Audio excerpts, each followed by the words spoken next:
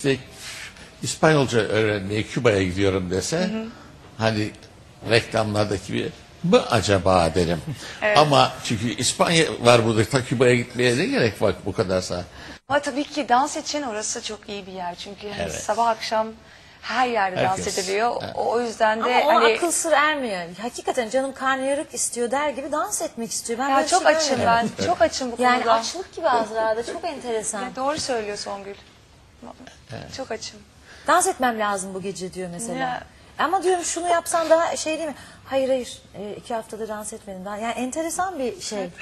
İhtiyaç. İhtiyaç gibi. İhtiyaç. Dedin ya ihtiyaç. Evet hakikaten öyle. yani. Songül e, annenle ara nasıl son zamanlarda? İyi. Güzel güzel. İlk sanat yıllarında sana telefon açıp kızım ne diyordu? Tansiyonum çıktı. Öpüşme sahnelerinde yokum de. Ee, hastaneye kaldırıldım dün.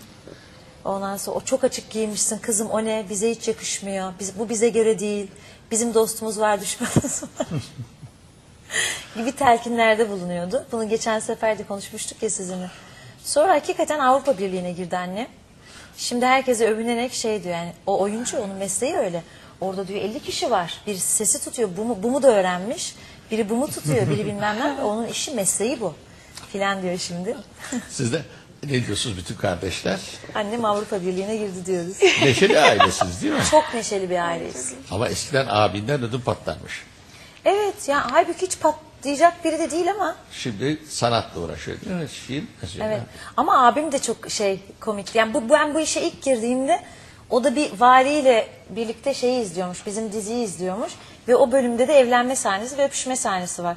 Abim beni aradı. Kızım dedi valiyle izliyordum. İnsan bir söylemez mi dedi. ne yapabilirim dedim. Neyse alıştılar şimdi. Böyle şeyler yaşadık. Ama sen e, Dil Tarih Coğrafya Fakültesi Ankara Tiyatro oyunculuk bölümü. bölümünden Tabii tabii tabii. mezunsun. Tabii. E, okula girerken bu konuyu nasıl izah ettin?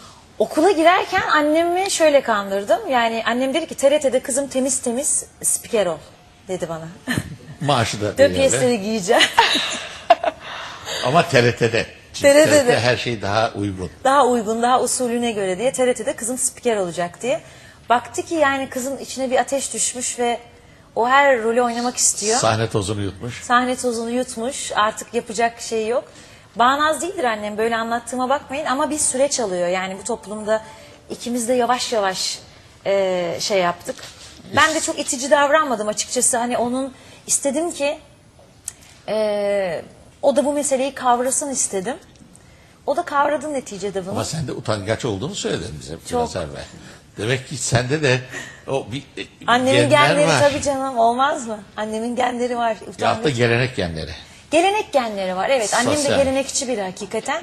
Gelenek genleri var ama sanat e, başka bir alem. Yani hakikaten insanların hani dünyayı sanat kurtaracak lafı o kadar doğru ki yani e, dolayısıyla da çok gurur duyduğum, onur duyduğum bir işi yapıyorum. Hiç utanılacak bir iş değil. Ama elbette ki daha Anadolu Ve bir aileye sahip olduğum dört için dörtlük yapıyorsun. çok teşekkür ederim. Sağ olun. Çok sağ olun. Türkiye'de Şimdi- zor. Gerçekten zor o toplumun şeyi yani farklı bir kültürümüz olduğu için hani onu algılamak yani şey gerçekten zor ama Evet. zamanla bizim toplumumuz şey yani onun rutinini annenizin Saygı yaşadığı gibi sonra. yavaş yavaş Evet. aslında o şeyleri algılayabilir. Ama ilk etapta biraz hep şey e, toplum olarak yani ters gelen hani neden böyle denilen şeyimiz var ama gelişme ve sıcak bakma anlamında yavaş yavaş onun gerçekliğini kavruyoruz. Aynısını yaşamışsınız Evet aslında. aynısını. Şey mesela biz konuşmayı çok seviyoruz. Hani bu şey töre, töre cinayeti lafı çok yanlış zaten. O da yanlış anlaşıldığı için. Törenin cinayeti mi olur? Töreyi yanlış anlıyorsunuz. Yani e, kurallar, aneneler bunlar kötü şeyler değil. İnsanın bağlı olduğu e, e, zenginlikler. Mesela e, çok enteresan bir şey olmuştu. ben üniversitedeyim, birinci sınıftayım. Yine annemle maceralarım bitmez tükenmez. birinci sınıftayım ve e, beni de seçtiler. Casablanca'ya gidecek bir çok enteresan kadın projesi o da. Bak Benim- sen de genç yaşta başlamışsın çok. Yani üniversite öğrencileri ilk evet, gençlik yıllarında. Evet. Ve bizim asistanın Yani dikkat edin ilk gençlik diyorum. evet evet evet onu Yani genç olduğunuz da devam ediyor genç. Ondan sonra e, o projeye seçildim ve aşırı mutluyum filan. e, birinci sınıftan dördüncü sınıfa kadar bir sürü öğrenci var. Yaklaşık 30 tane e, genç kadın. E, o gün de harçları protesto etmek için e, öğrencilerin Türkiye çapında bir eylemi varmış. Bizim tiyatro bölümü de Ankara Üniversitesi'nde bir alt kattadır. E, bir bağırma çağırma sesleri falan geldi. Şey e, asistanımız da e, tiyatro araştırma görevlisi kapıları kilitledi. Hani biz ona emanetiz duygusuyla. Fakat bizim kapılarımız yumruklanıyor filan. E, barikat koydu o da hani dekorları filan bağırıyor. Çocuklar gidin burada eylem yapmayın biz burada prova yapıyoruz filan diye o da bağırıyor bizi koruma içgüdüsüyle. Birazdan kapılar bir açıldı. Güm diye içeriye polisler girdi. Ben de e, hakikaten yüksek sesten ve şiddet duyduğumda ben kilitleniyorum. Mesela karşıdan karşıya bile geçemiyorum. Yani o kilitleniyorum herhangi bir şekilde şiddetle karşılaştığımda. Köpeklerle birlikte girdiler. Çekilin bilmem ne filan şu bu oraya buraya vurdular bilmem ne. Biraz araştırma görevimizi tartakladılar. O da izah ediyor. Bakın biz burada tiyatro bölümü öğrencileriyiz. Böyledir şöyledir filan diye. Sonra bize dediler ki tamam çıkın dışarıya. Çünkü bütün eylem yapan öğrenciler şeylere kaçmışlar. Herkes bir yere kaçmış filan. Ee, bizi çıkardılar dışarıya. O sırada bir polis bana tekme attı. O. Hala izi vardır bacağımda ve yere düştüm ben. O sırada da gazeteciler de var. Resimleri çekiyorlar. Biz tabii bizi kuzu kuzu götürdükleri için şeyden Ertesi gün bütün gazetelerde işte e, eylemci öğrenciler böyle çıkarıldı. Eylemci teröristler yazıyor bazıları, eylemci öğrenciler. Ve benim resmim var düşerken gazetede. Ay, ay, ay. Annem zaten tiyatro bölümüne izin almışım zar zor filan. Üst katta da çok dedikoducu bir teyzemiz vardı. o da anneme demiş ki yani Latife Hanım sizden hiç beklemezdim yazıklar olsun. Yani sizin gibi bir annenin çocuğu böyle işlere karışıyor filan. Yani ben onu dedim bir kadınlar günü konuşmasında bunu yaptım. Ben iyi ki e, benim annem değerlerine bağlı bir anne ama iyi ki o dedikoducu teyzeye inanmamış. İyi ki beni okuldan almamış. İyi ki benim arkamda durmuş. E, hani bizim ülkemizde bu çok yaşanan bir şey. Yani töre cinayette aa o onun kızıyla oğluyla konuştu. Bak bilmem ne yaptı kızı öldür. Bilmem ne yaptı. Yani nereden geldim buraya? Hiçbir fikrim yok. Evet nasıl bağlayacağım söyleyin Güneri Civoğlu. Harika bir şekilde bağlanabilir. Daha güzel konuştuğumuz şeye bağladık aslında. Bağladık mı? Tabii aynen Tamam. öyle. Kadın kadın şiddetine Çok güzel bağladık bağlandı. direkt. Mahalle baskısı. Mahalle baskısı. Mahalle evet. Yılmadık ama mahalle baskısından mezun oldum işimi yapıyorum çok şükür. Evet ben bağlayayım. Hiçbir zaman kötü olmadın zaten. Ben kötü biri değilim.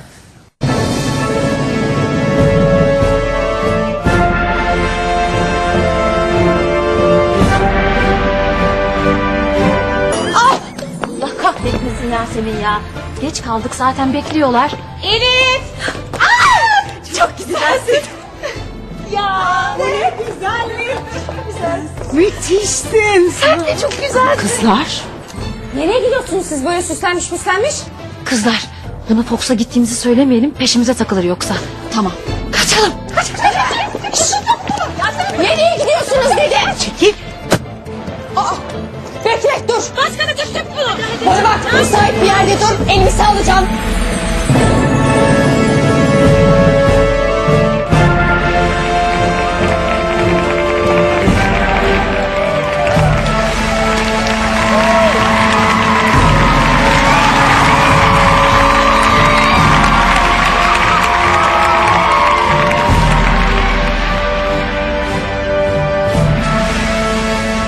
Umutsuz Ev Kadınları yeni bölümleriyle 16 Mart'tan itibaren her cumartesi ve pazar akşamı Fox'ta. Ağoğlu'nun sunduğu Şeffaf Oda devam edecek.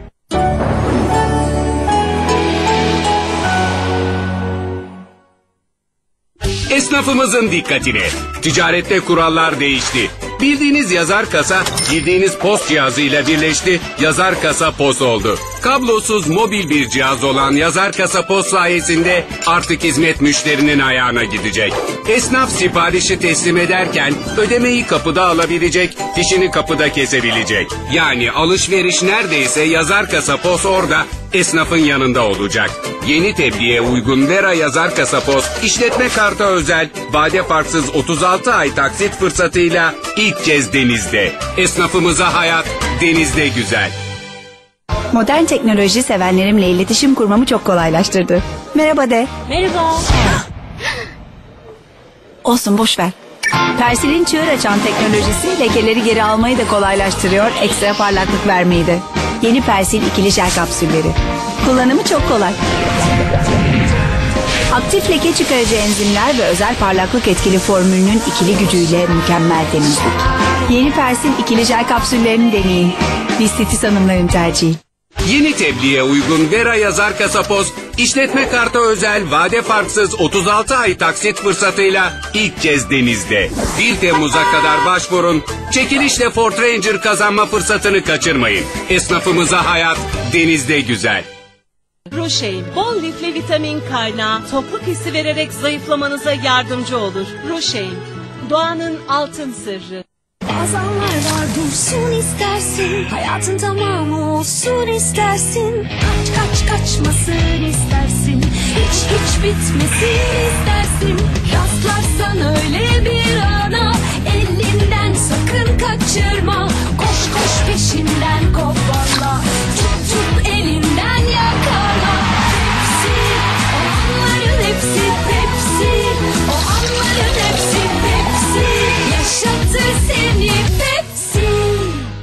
Roşein, bol lifli vitamin kaynağı, tokluk hissi vererek zayıflamanıza yardımcı olur. Roşein, doğanın altın sırrı.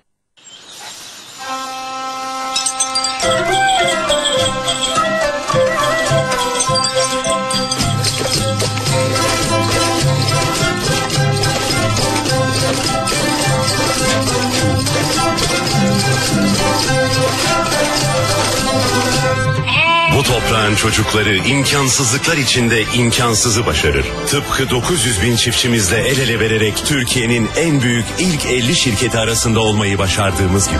Konya Şeker, Türkiye'nin üreten gücü.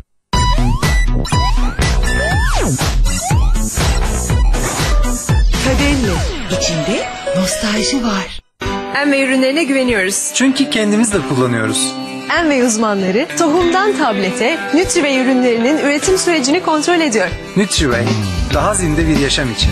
Enve'ye güveniyoruz ve rahatlıkla tavsiye ediyoruz. Bu bizim aile işimiz. Enve, siz de deneyin. Çek çevir ısır. Çek çevir ısır. Eti combo çok lezzetli o. Eti combo